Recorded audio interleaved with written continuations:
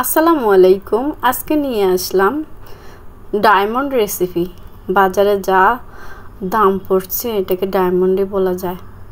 তো আমি এখানে রেসিপি তৈরি করার জন্য প্যান ভালোভাবে গরম করে নিয়েছি।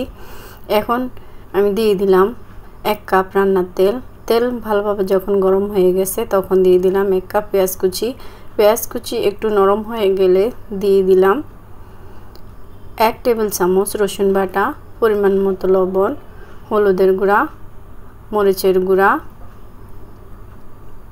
জিরার গুঁড়া। এখন একটু নেড়ে ছেড়ে ভেজে নিব।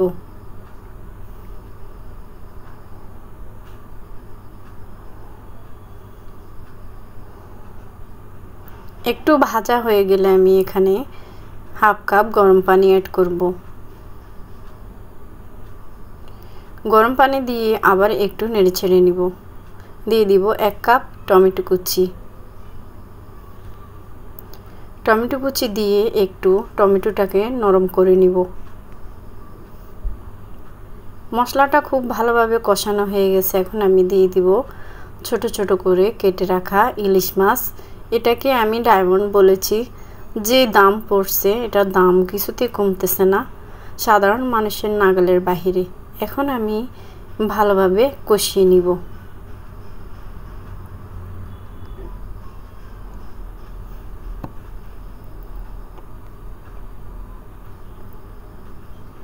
একটু আলতো হাতে আবারও একটু নেড়ে ছেড়ে দিব, যাতে মাছগুলো ভেঙে না যায়।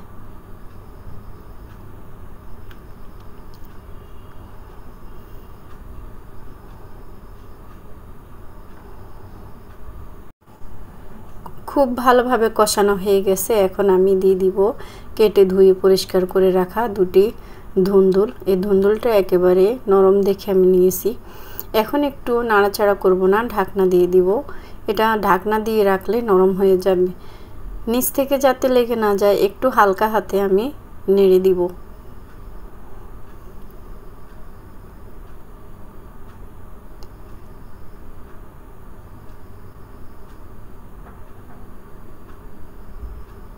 আবারও আমি ঢাকনা দিয়ে দিব। এখানে কোনো পানি ইউজ করা লাগবে না।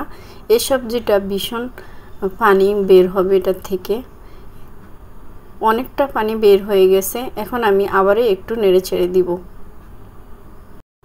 এইভাবে একটু নেড়ে ছেড়ে দিয়ে পাঁচ মিনিট রান্না করে নিলেই হয়ে যাবে আমার আজকের রেসিপি যদি রেসিপিটি ভালো লাগে তাহলে শেয়ার করার অনুরোধ রইল। এতক্ষণ সাথে থাকার জন্য সকলকে অসংখ্য ধন্যবাদ। সময় অনেক বেশি ভালো থাকবেন। আল্লাহ হাফেজ।